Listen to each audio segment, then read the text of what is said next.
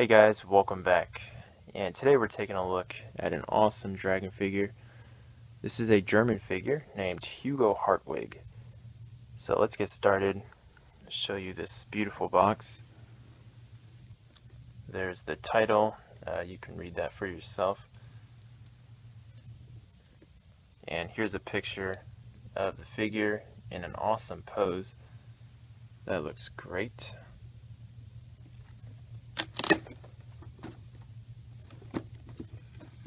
Okay, on the side we got another uh, neat pose here.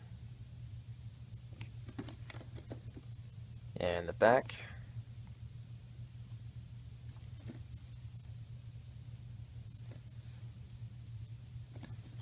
Alright, and this one is one of their newer ones. It was released in 2011, so the detail is really good on this one. And uh, overall, I'm very happy with this figure. I picked him up for like, uh, I think 60 bucks on eBay. So a pretty good price, I think. This is a really nice figure. So let me uh, get him out here for you.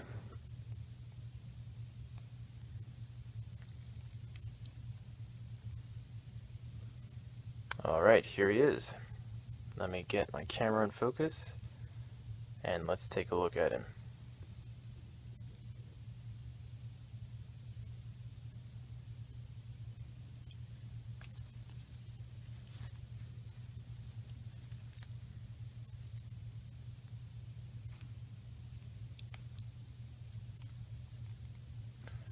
Alright guys, so as you can see, this is an awesome uh, German dragon figure.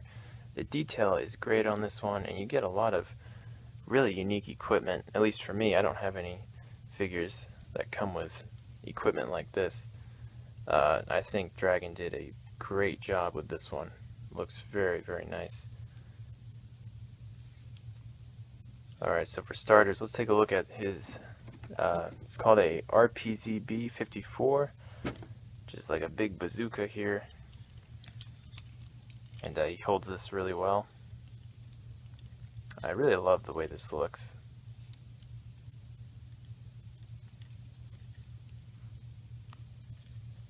So let me get that out of his hands. Alright, and the paint is really nice. I love the camo on this. Really good quality. Got a nice strap on there which can be adjusted. Uh, in the front, you got the uh, this kind of shield piece and you can take that off. And uh, you can pull this or push it back.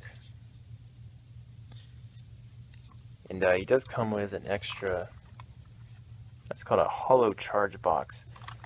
And if you open it up it's got some extra rockets here and total he comes with three rockets but you can put two of them in here. And these are really cool. And if you want you can try to stick it in there. Um, it doesn't fire or anything but you can put it in if you want. Uh, so overall uh, great uh, weapon he's got here. Details really nice and I love the paint on it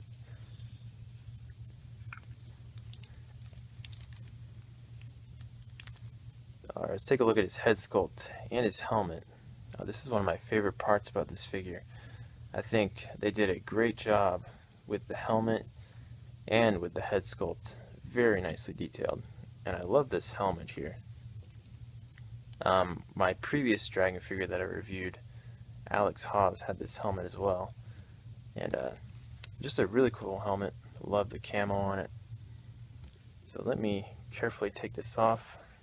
I did glue the inside of it uh, to the metal part. Hopefully this doesn't come off. There we go. So there you see the uh, padding inside.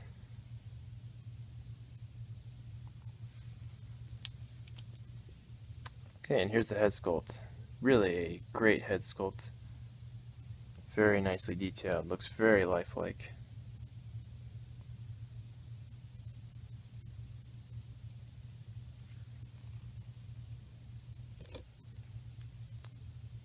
Yeah, these uh, later model head sculpts uh, really, really are impressive. This one in particular just looks great.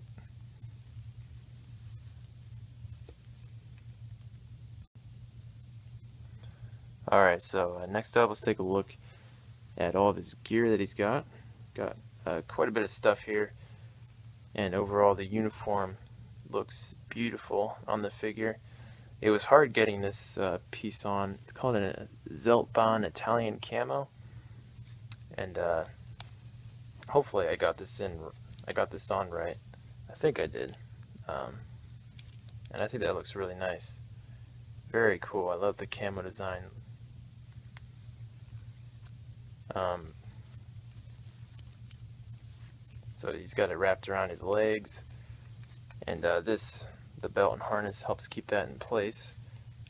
Um, and on the back, you can see he's got his canteen, his mess tin here, his basket down there, and then his gas mask case over here. Got that strapped on. That looks really cool. And uh, over on the side I have his pistol holster. And uh, give me a second, I'll try to get out his pistol. There it is.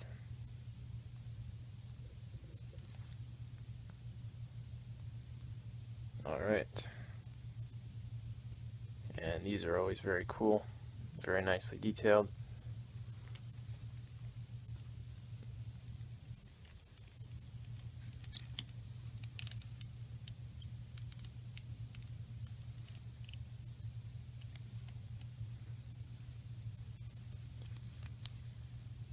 Alright, and on this side, uh, he also does have a knife with the sheath.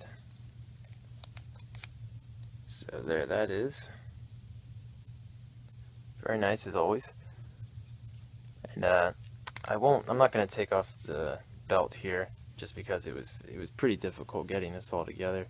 Some of these dragon figures are really a pain to get all set up. And this one in particular I had uh, some trouble getting this uh, Zeltbahn Italian camo piece on with the belt and harness. So I'm going to leave that on, but let's just take a look at uh, everything again because it looks really nice once you get it onto the figure. Really like the way this looks. You see we got some uh, some uh, sticker insignias you can put on. Got one there and two more up on his collar and that's from that's on his shirt underneath uh, this equipment here. Alright, let's take a look at his boots. Uh, these boots are really nice, very nicely detailed. Okay, I love the way these look.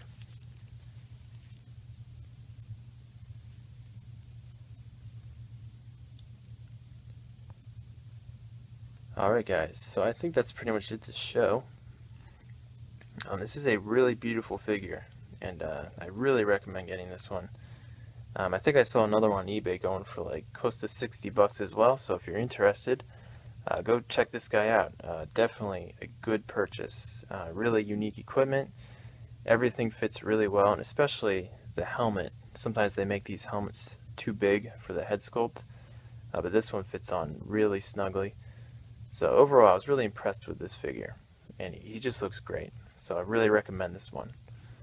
Uh, thanks for watching the review, guys, and uh, hopefully I'll be picking up a new figure soon, so stay tuned for my next review.